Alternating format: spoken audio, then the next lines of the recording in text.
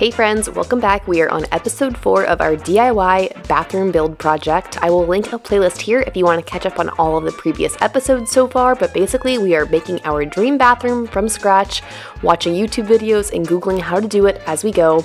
Today we are starting to do some of the fun stuff and the pretty things you will actually see in the final bathroom, starting with this wall paneling. I have been obsessed with the look of vertical shiplap or beadboard. It's been all over my Pinterest page, so I knew I wanted to incorporate this kind of wall treatment somewhere in the bathroom, and since the bathroom is so small and there's not many like little niches or nooks, it only made sense to me at least to do it through the entire room. So Christian, of course, is going to make that happen.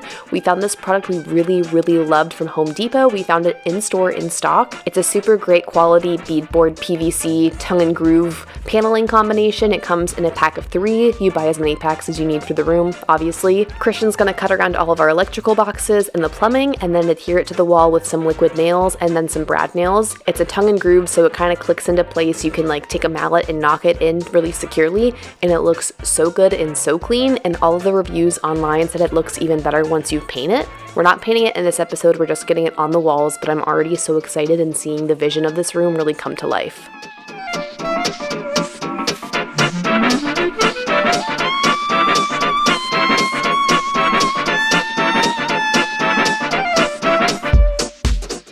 We also decided to put the wall sconces up. These are going to be on either side of our vanity mirror above the sink. We'll be taking them down to be painting this beadboard, but we were just excited to see them in the space and to have some extra lighting around while we're doing these projects after bedtime.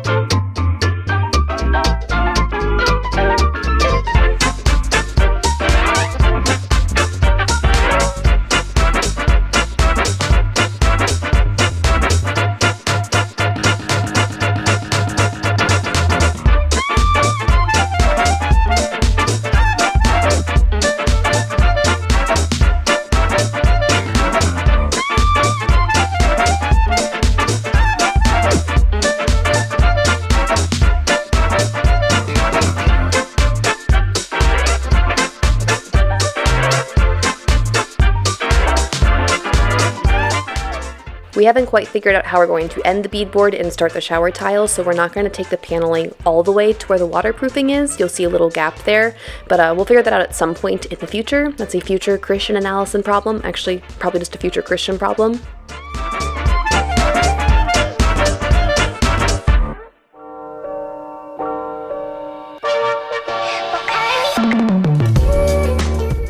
We had to do a little bit of experimenting to find the best way to fill all of the nail holes. First, we just tried using the paintable caulk we would be using around the ceiling line, and uh, Christian didn't love the finish. It worked, but it wasn't the best. So he looked online and saw, I think in the reviews for this product, that people recommended using a joint compound because it just sands super smoothly and easily. So Christian pulled that out because he was working on the ceiling anyway and filled in all of those spots, and we found that to be the best method.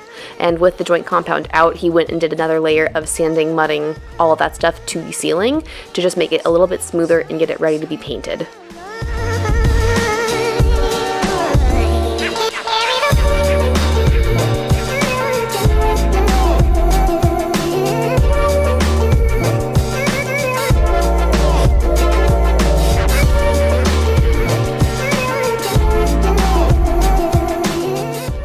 While we were waiting for the drywall on the ceiling to dry so we can sand it and repeat that process again, Christian went ahead and did some caulking. He did around the bathtub, all of the bath fixtures there, and then around the entire ceiling where our beadboard would meet the ceiling, just so it's a super clean finish. I will say I was kind of nervous when the beadboard was first installed that it looked kind of cheap or just shiny. The shininess will be fixed by paint, but I will say the caulk made the rest of it look just absolutely perfect and super high end. So don't fret if you're doing this project project and you're nervous it's not looking great, always wait until you do the finishing touches. Jumping in for a little interruption, Christian has wrapped up all of the sanding and uh, patching of nail holes and stuff. He's done, I think, three coats of joint compound and taping and sanding on the ceiling. We could do a couple more, but we're ready to move on. We're happy with where the ceiling looks right now, so I'm stepping in to do some painting of primer and then our actual paint color on the ceiling. He also went and filled in all of our nail holes. You can just barely see them, and we're hoping they fully disappear once we paint this wall. But otherwise, we feel good about the progress, and we're ready to actually start painting things. So starting with the ceiling.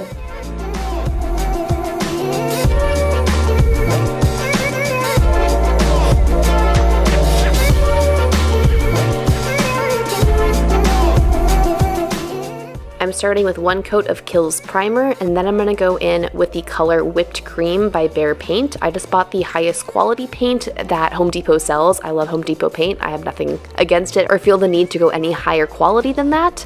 We did a satin finish because it is a bathroom, and then the color Whipped Cream is supposed to be like a dupe, they say, for Chantilly lace. It's just a very pretty bright white color without being too blue or too yellow. We're really happy with the ceiling color. We don't know the color of the ceilings in the rest of the house, but I do think this will just be our go-to color moving forward since we're going to have to do some ceiling patchwork around the home. I think this will just be like the basic color we go with for every other room here.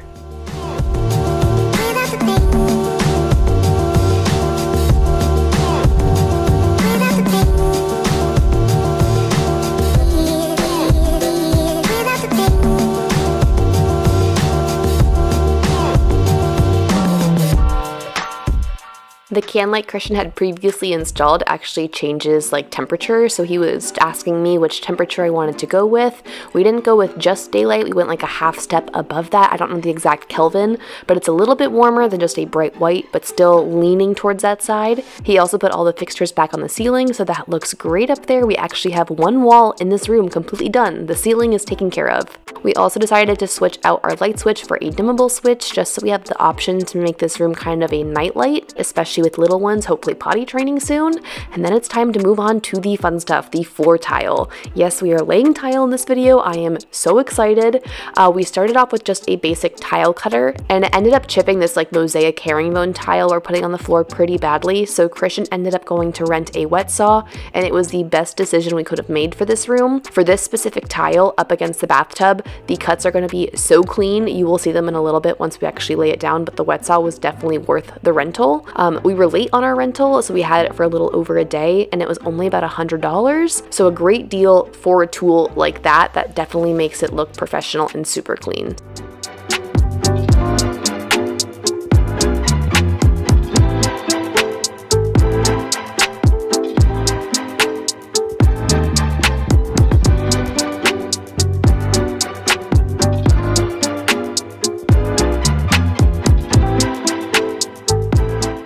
Christian also purchased an angle grinder for some of the trickier cuts, like here around the toilet flange. Thankfully, this room is just a rectangle, so he only has straight cuts to make except for around this toilet flange. Makes it super simple and easy to do this project, and uh, we still had some problems along the way you'll see in a little bit, but it started off very straightforward for tile newbies like us.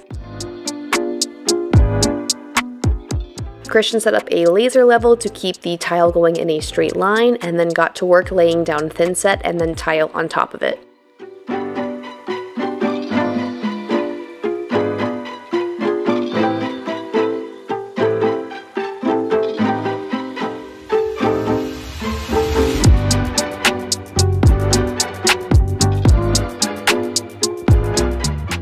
This is our first attempt at tile, so obviously it comes with a steep learning curve, and the first thing we discovered is that you don't want to use too much thinset. Especially with a mosaic like this, too much thinset means that a lot of it's going to seep through the grout lines, or like the spaces in between each tile, and uh, you can't grout if there's thinset there. So I stepped into the tub and started taking a wet sponge, and honestly just like a kitchen knife and whatever we could find to start scraping out all of the thinset.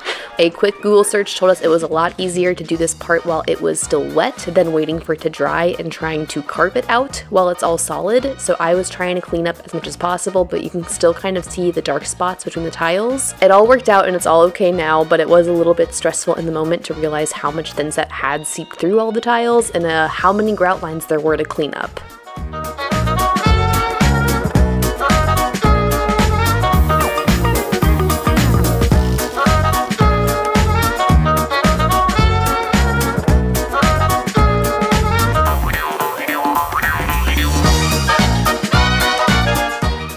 Now, if I was orchestrating this video perfectly just for YouTube and not for like real life how building projects work, I would have had us grout the floor tile next, but instead we decided to keep the tile train moving on and skip the grout for now. We'll come back and do that in another update and just start working on the shower.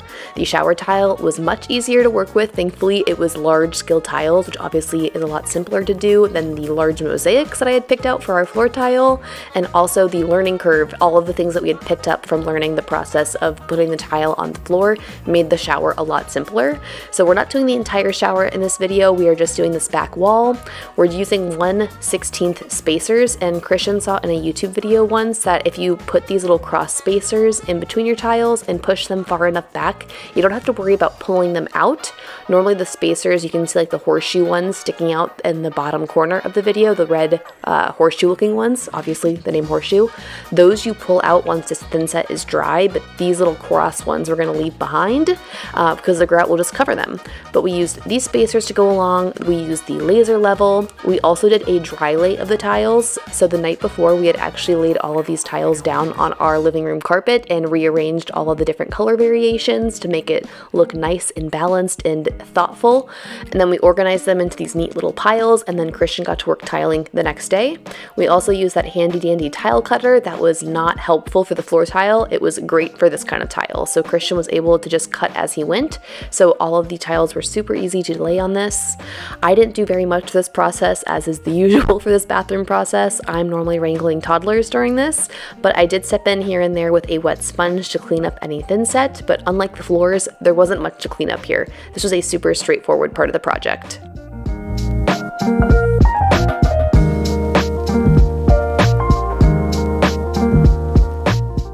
You may notice a slight sloping to our ceiling. The tiles got smaller and smaller along the left side of the wall, so uh, just ignore that. We're hoping you don't really have your eye drawn to it. It's just what happens with homes. They're not built perfectly square and level, and especially when you're doing drywall for the first time and building for first time, you're gonna make mistakes. So that's definitely one little imperfection is the ceiling sloping.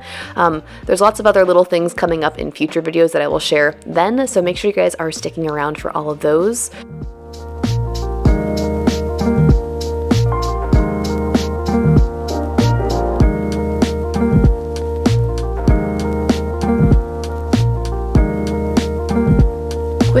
To wrap up this video. We made a lot of progress. Floors are in with thinset. There's still grout to be laid down. Same with this back wall of the shower. It won't be this dark in between all the tiles. We'll be putting in a white grout. We also have to tile the two sides, but ceiling is complete.